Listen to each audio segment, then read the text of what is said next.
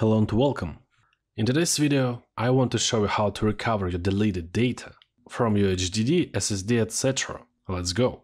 So, here as you can see I have one of my SSD drives and it's empty. But here I have three files. It's an image, an important document with important information and a video. That's how it looks. Now we'll copy these files to my empty SSD and somehow, accidentally, I will delete them. So how can we recover them now? To recover deleted files, I will use special software. It's called EaseUS Data Recovery Wizard 3. All the links will be in description. Now click here Free Download. Open the file. Here you can choose the language and the installation path. But before the installation begins, you should remember one thing. Do not install this software or copy any files on the disk you want to recover files from. It will decrease chances to recover your data. The app must be installed on any other drive. In my case, this is disk C. Now install the app.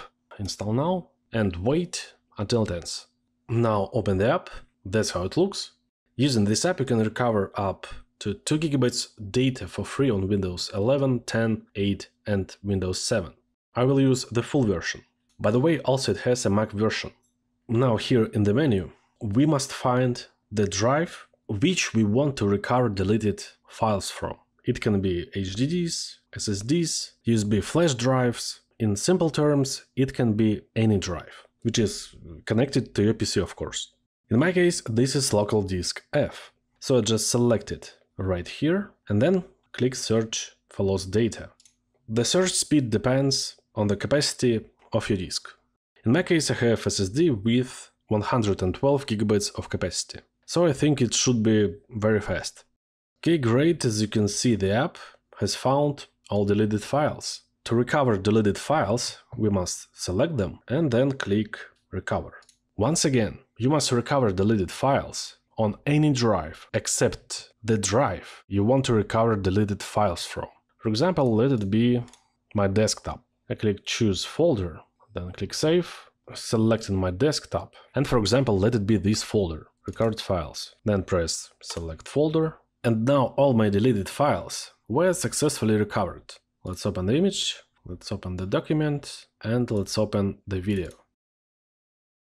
If you have a lot of files to recover, you can use a filter right here. You can sort deleted files by type. For example, you want to recover only pictures or only videos, documents, audio, archives, emails, etc. Also you can sort deleted files by extension. For example, docx, this is Microsoft Word extension. Also you can sort files by data and by file size. Also, you can specify location. For example, you want to recover deleted files directly from recycle bin or from the desktop, or you can manually select a folder. Go next, the app has other features. It's a data recovery from SD card, from NAS and Linux, and from RAID disks. Also it has partition recovery, and you can create your own recovery USB drive. Let me show how it works. First, you need to connect your USB thumb drive, then select it and click create. Uh, but be careful, because it will erase all your data on the USB drive. If you're okay with it, click create. Now wait until it ends. Now we must get into the boot menu. In my case, on MSI motherboards, I need to press F11 button during the startup. And here you must select UEFI USB partition 1. And now, as you can see, we have the same menu like it was in Windows. We can do all actions like we did before and we have access to all disks. This recovery USB thumb drive will be very helpful, for example, in cases when you can't access Windows. That's how you can easily recover deleted files from your drive. If you're interested, all links will be in the description. If you have any questions, you can leave them in the comment section. Thanks for watching, see you later, bye.